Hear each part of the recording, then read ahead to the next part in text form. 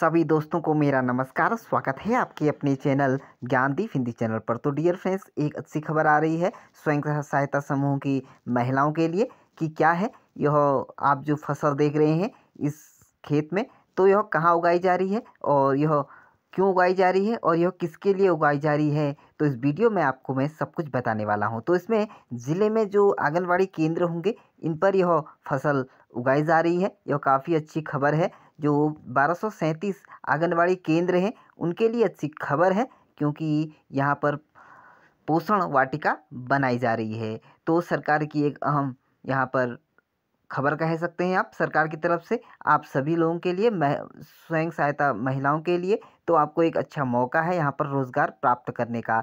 तो यह किन के लिए यह यहाँ पर सब्ज़ियाँ उगा रही हैं और यहाँ पर क्या इन खेतों में उगा रही हैं? इस वीडियो के माध्यम से मैं आपको सब कुछ बताने वाला हूँ। अगर आप हमारे चैनल पर पहली बार आए हैं, नए हैं तो हमारे चैनल को सब्सक्राइब कर लीजिए और बगल में दिए गए बेल आइकन को भी ज़रूर प्रेस कर लीजिए। तो उसमें बात करते हैं आपको, बताते हैं कि इसमें ज़िले के बारह आंगनबाड़ी केंद्रों पर पोषण वाटिका का निर्माण होगा।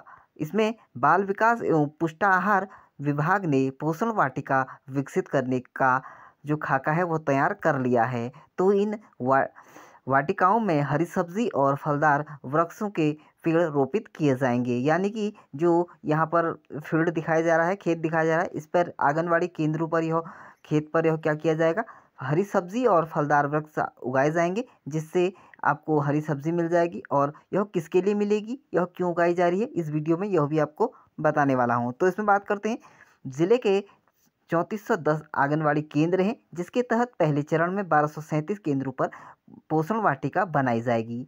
इन पोषण वाटिकों का निर्माण बाल विकास एवं पुष्टा आहार के अलावा आजीविका मिशन के तहत स्वयं सहायता समूह की महिलाएँ करेंगी। जी हाँ फ्रेंड्स, स्वयं सहायता समूह की महिलाओं के लिए काफ़ी अच्छी खबर आ रही है कि आपको यहाँ पर खेत में यह कार्य करना पड़ेगा। उद्यान विभाग की ओर से सब्ज़ी और फलों के वृक्ष लगाने पड़ेंगे और इसमें पोषण वाटिका में सब्ज़ी व फल कुपोषित बच्चों और गर्भवती महिलाओं को उपलब्ध कराए जाएँगे। जी हाँ फ्रेंड्स, यह काफ़ी अच्छी खबर है जो कुपोषित बच्चे होंगे और जो यहाँ पर गर्भवती महिलाएँ होंगी। तो उनके लिए यह फ़सल तैयार की जा रही है स्वयं सहायता समूह की महिलाओं के द्वारा।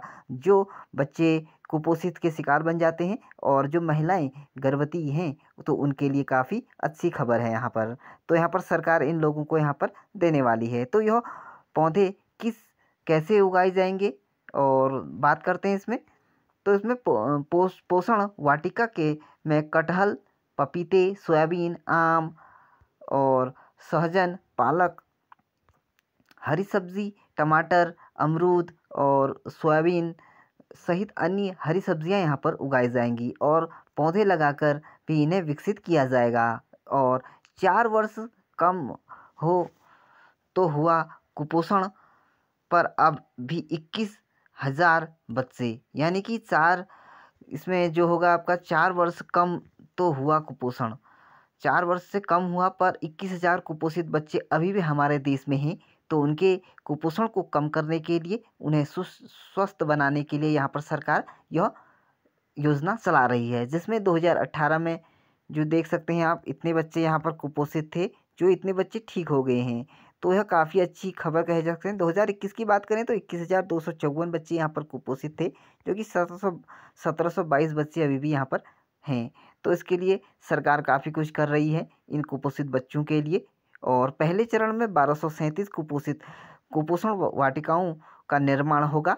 इसके लिए कार्य योजना तैयार कर ली गई है और इसमें सरकार जल्द ही इसमें यह काम शुरू करने वाली है। तो वाटिका के फलदार और हरी सब्ज़ी वाले पौधे रोपित किए जाएँगे। आंगनबाड़ी स्वयं सहायता समूह की महिलाएँ वाटिका को तैयार करेगी। जी हाँ फ्रेंड्स, जो यह वाटिका है, इसे आंगनबाड़ी केंद्रों पर यह वाटिका बनाई जाएगी और स्वयं सहायता समूह की महिलाएँ यहाँ पर काम करेंगी। तो यह थी खबर।